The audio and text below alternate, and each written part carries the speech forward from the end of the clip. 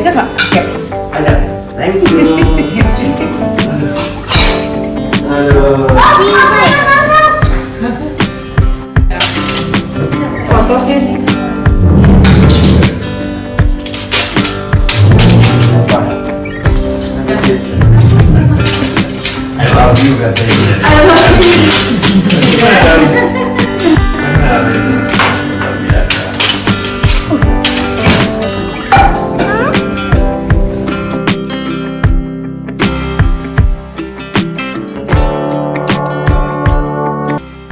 Syahrini kerap memperlihatkan kemesraannya dengan sang suami, Reino Barak, di media sosial. Terbaru, penyanyi 39 tahun itu menuliskan pesan romantis untuk Reino yang berulang tahun. Ya, suami Syahrini, Reino Barak, baru saja memperingati pertambahan usianya yang ke-38. Sebelum kita lanjut, yang belum subscribe, silahkan subscribe dulu. Dan jangan lupa mengaktifkan tanda lonceng di bawah. Agar Anda tidak ketinggalan berita-berita terbaru dari kami. Oke, kita lanjut. Meski tak lagi begitu aktif tampil di televisi, melalui akun sosial media pribadinya, Syahrini masih cukup rajin membagikan perkembangan kabar terbarunya. Salah satunya, momen kemesraan dirinya bersama sang suami, Reino Barak, yang tengah berulang tahun ke-38 tahun ini.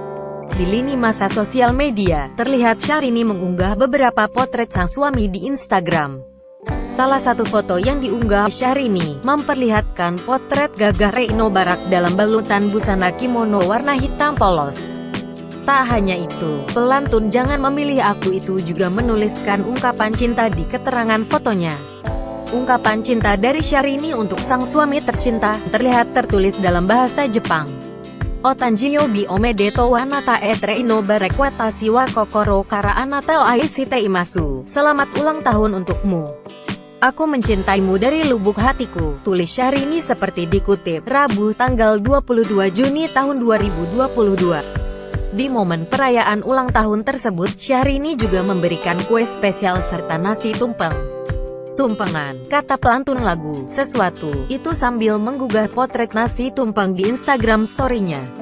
Barakallah sayangku, I love you, kata Syahrini. Terlihat di kolom komentar, beberapa ucapan selamat dan doa mengalir untuk sosok pengusaha muda tersebut.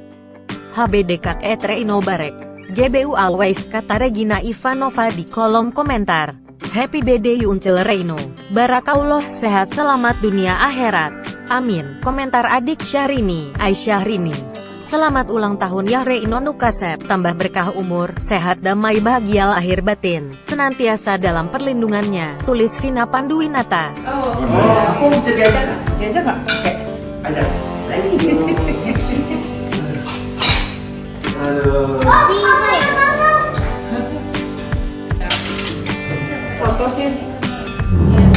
Bagaimana menurut Anda? Silahkan tinggalkan komentar di bawah. Tapi yang belum subscribe, jangan lupa subscribe dan jangan lupa menekan tanda lonceng agar Anda tidak ketinggalan berita-berita terbaru dari kami. Terima kasih.